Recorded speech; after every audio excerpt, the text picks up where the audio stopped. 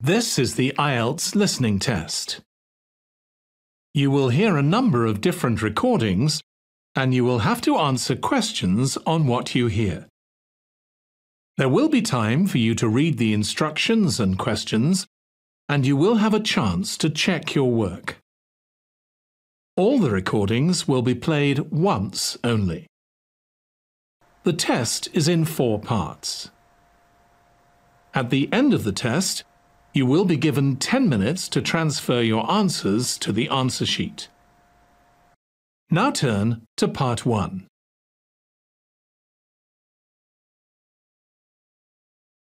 Part 1 You will hear the manager of a shop talking to a new employee called Penny. First, you have some time to look at questions 1 to 5 on pages 2 and 3.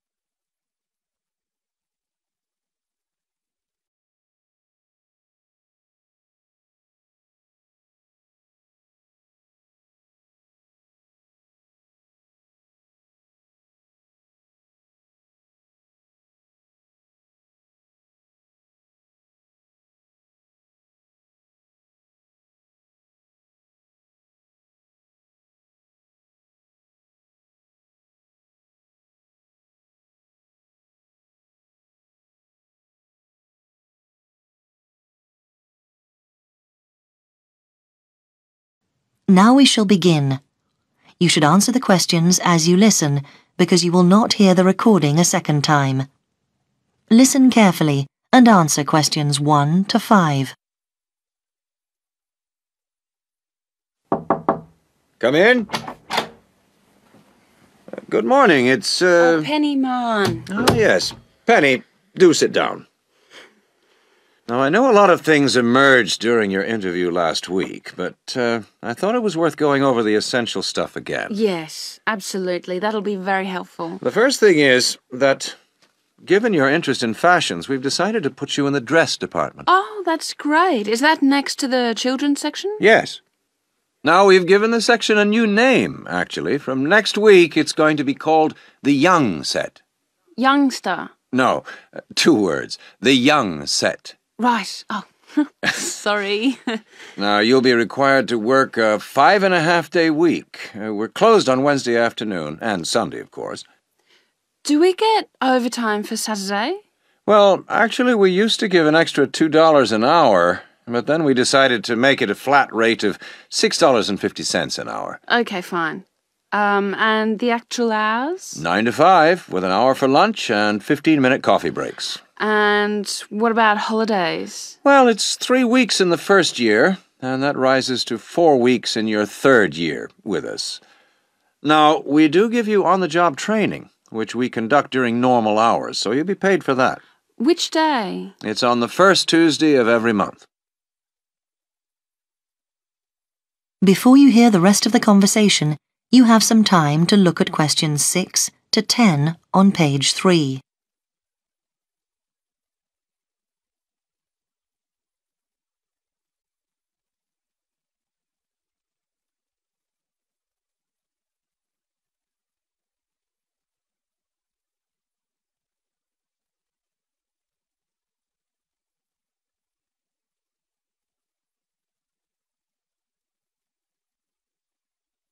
Now listen and answer questions 6 to 10. Now, in addition to your basic pay, I should explain that you're entitled to some staff perks, which our assistants do find a valuable benefit. Do we get a discount? That's right, 25% off everything in the store. Although we do make an exception for sale goods, which I'm afraid have no discount. Yeah, fine. Um, and I was wondering about pension arrangements. Mm-hmm. You get a good company pension, which our personnel manager will be able to explain to you in detail. She's in room 12. Worth going along to see her. And who will I be working under? Mr. Appleby? The manager of your section is Mrs. Waddell. That's W A D D E L L. Mrs. Waddell. Okay. And apart from serving the customers, will I have any other duties? Good question. Uh, we do ask you to do the window dressing. Oh, I'll enjoy that. And one of the biggest worries in the boutique is shoplifters, so you have to check for them. Will I receive training on that? Yes, certainly. That'll be one of the sessions next month. Oh, and we'll be asking you to check stock. Right. Yes, of course. And is there a particular dress code in the shop? Right, well, we're quite flexible. But what we do is ask you to wear a black skirt, and the shop will give you a red blouse. We'll also give you a name badge, which you must wear all the time. Yeah, of course. Right, is there anything else you'd like to ask me? No, that's very comprehensive. Thank you. Good. So we'll see you on Monday. Yes. Thank you. Goodbye. Goodbye.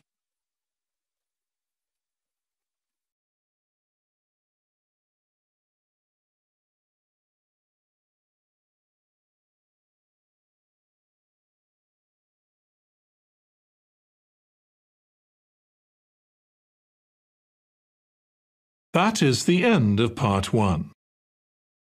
You now have one minute to check your answers to part one.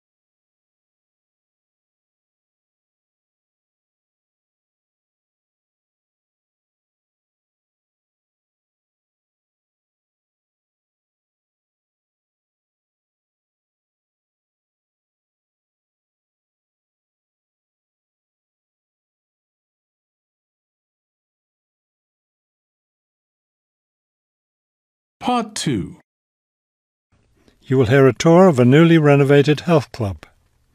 First, you have some time to look at questions 11 to 15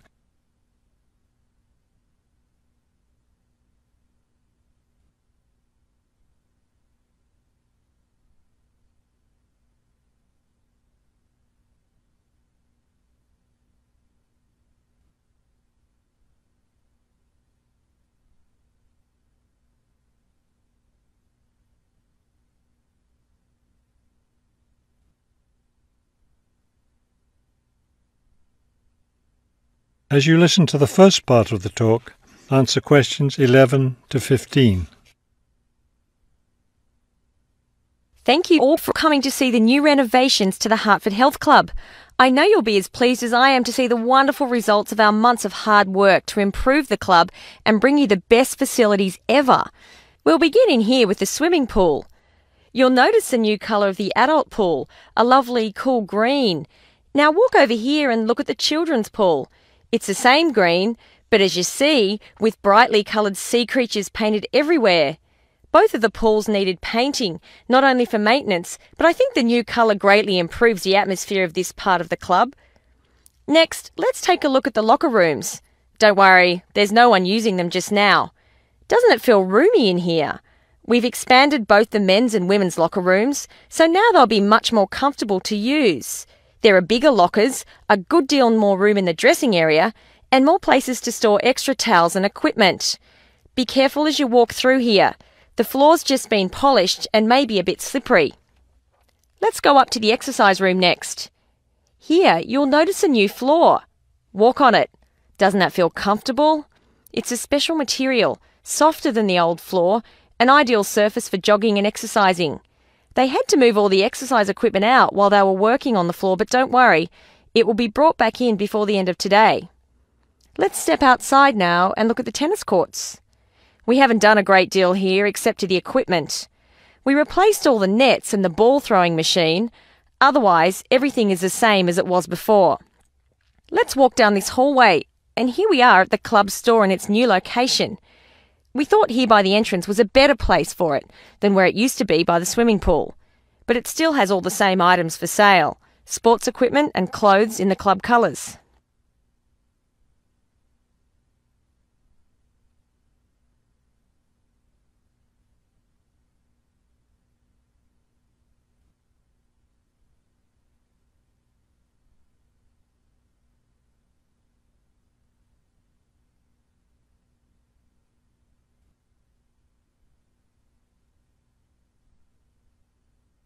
Now listen and answer questions 16 to 20. We're excited about the upcoming activities and events to take place in our newly renovated club. Now that the pools are ready for use again, swimming lessons will begin tomorrow for both adults and children. If you haven't signed up yet, you can stop by the office before you leave today and put your name on the list. If you're a tennis player, you'll be interested to hear about the tennis competition coming up on Wednesday. Players from different clubs all over the region will be participating. If you'd like to watch the event, tickets are available in the office. Also, I want to be sure you all know you're invited to our club party coming up next weekend. We're celebrating the completion of the renovation work, and we have a lot to celebrate. The entire renovation project was finished in just nine months. That's three months less than the 12 months we'd originally planned on. We're proud of that, and proud that we came in under budget too.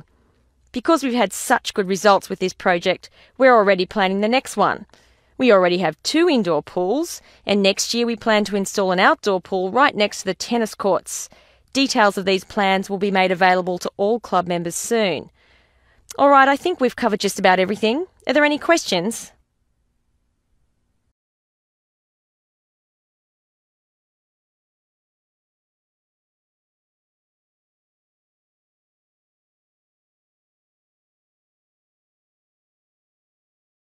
That is the end of part two. You now have 30 seconds to check your answers to part two.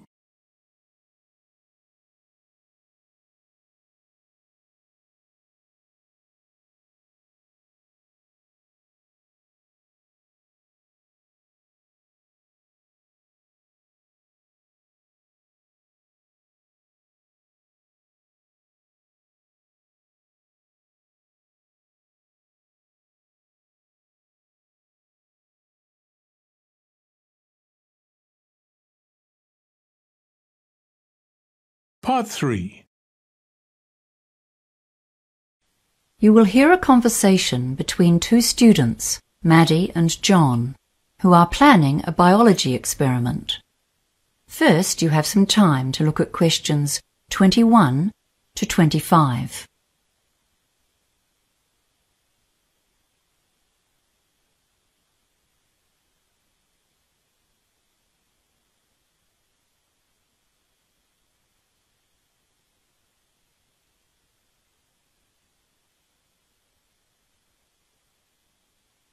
Now listen carefully and answer questions 21 to 25. Okay, John. We're studying the crabs on the local beaches, right? Yep. And we've got this form to fill in. So, our idea is that we find out if there's any impact from people using the beach.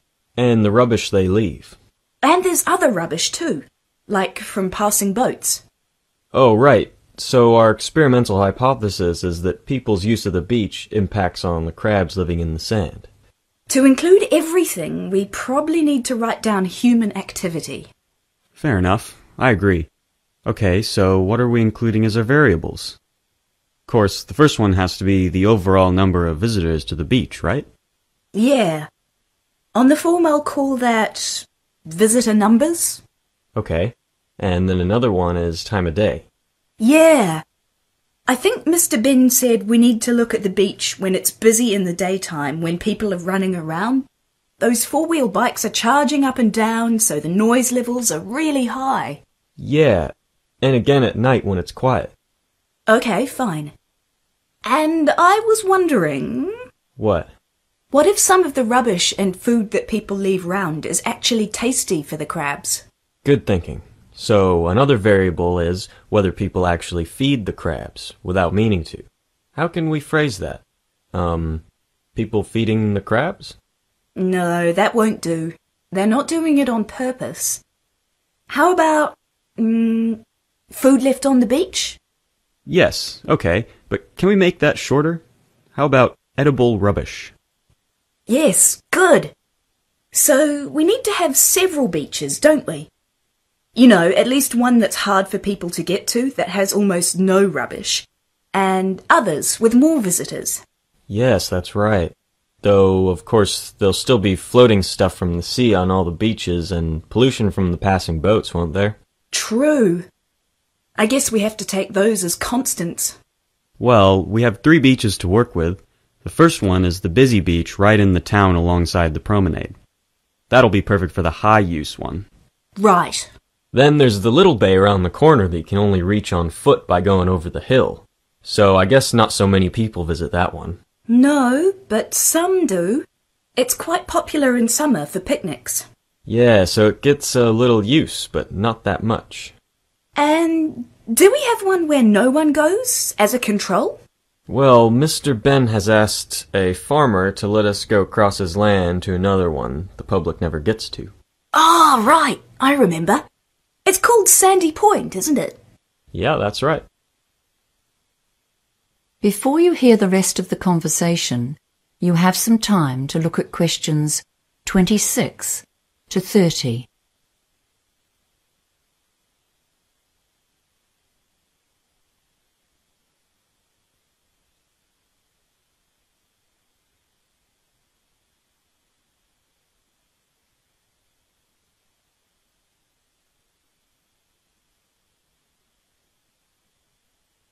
Now listen and answer questions 26 to 30.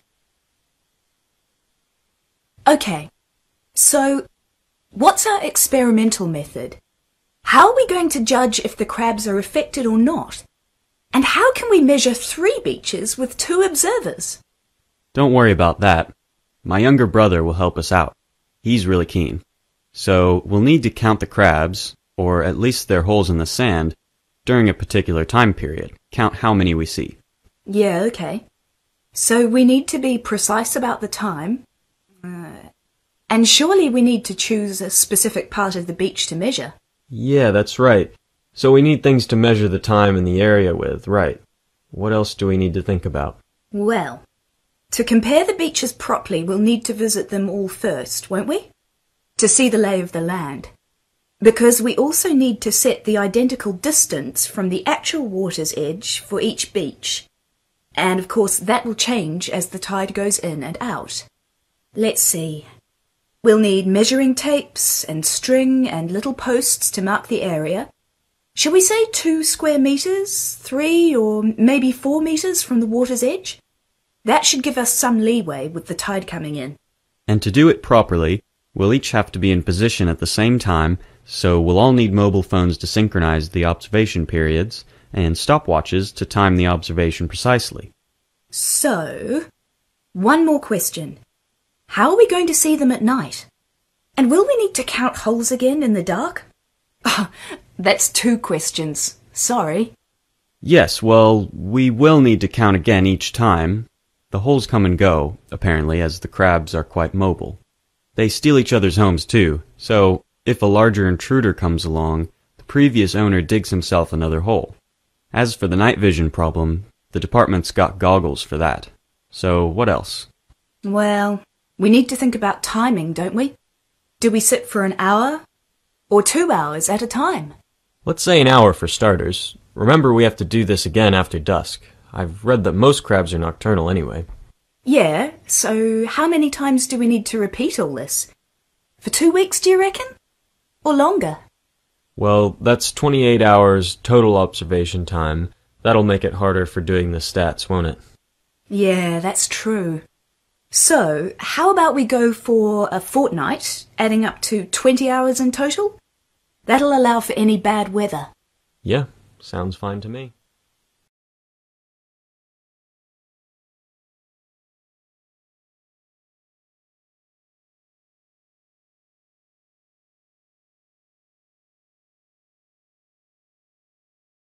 That is the end of part 3. You now have 30 seconds to check your answers to part 3.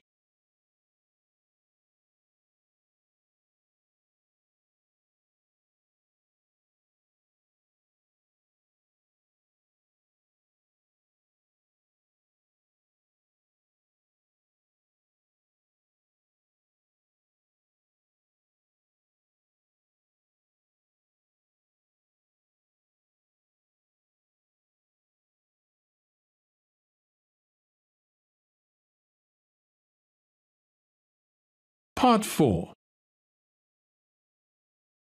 You will hear a lecture about the black bear. First, you have some time to look at questions 31 to 40.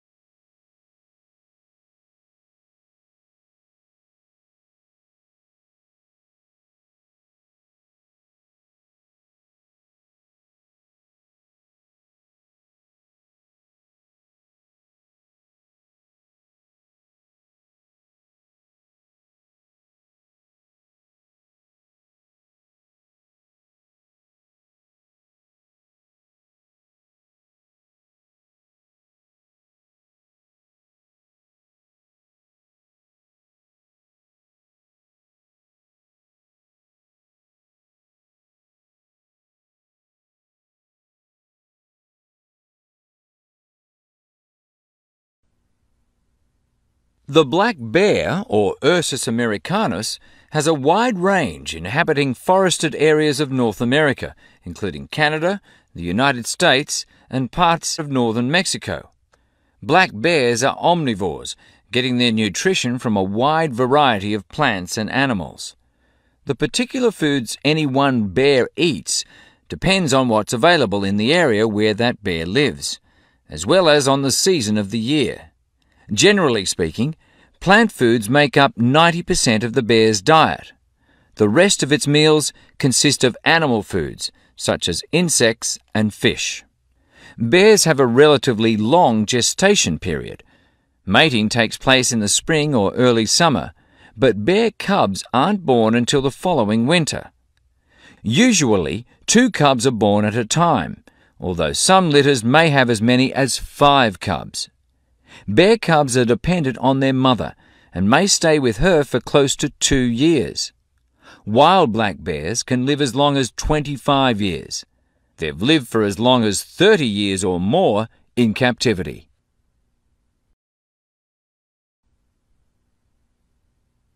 Much of the black bear's range coincides with the range of its close cousin, the grizzly bear. Although these bears are somewhat similar in appearance and habits, it isn't difficult to tell the difference between them. Colour isn't necessarily a distinguishing characteristic, as both species of bears occur in a range of colours from almost blonde to dark brown or black. Many black bears, however, have a patch of fur on their chests that's lighter in colour than the rest of their fur.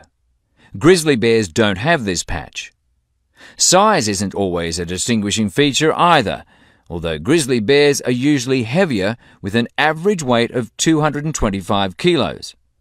Black bears average 140 kilos in weight. Grizzly bears spend time digging in the ground for roots and tubers that make up part of their diet. The large muscles they need for this give them a distinct shoulder hump. This hump is absent in black bears, which don't do the same kind of digging. The shape of the face and ears is also different in each species of bear. Grizzly bears have a depression between the eyes and nose, and short, round ears. Black bears, on the other hand, have a straighter profile and longer, more pointed ears. Grizzly bears are known for their fearsome, long, sharp claws.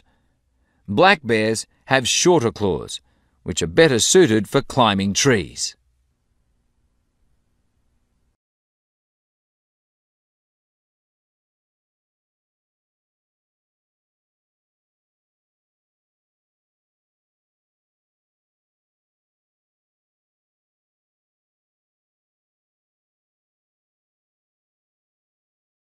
That is the end of part 4.